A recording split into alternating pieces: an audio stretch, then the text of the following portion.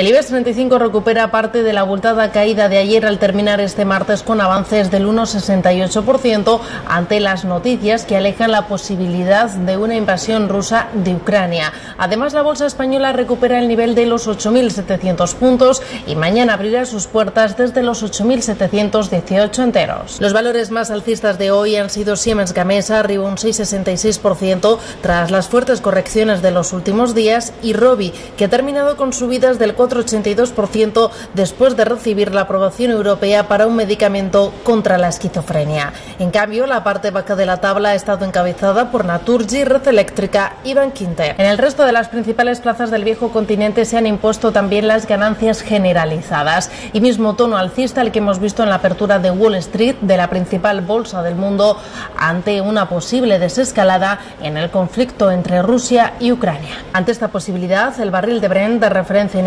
Baja hasta el entorno de los 92 dólares y en el mercado de deuda la rentabilidad del bono español a 10 años sube hasta el 1,31%, mientras que la prima de riesgo pierde algo de terreno respecto a ayer y se queda en el entorno de los 100 puntos básicos.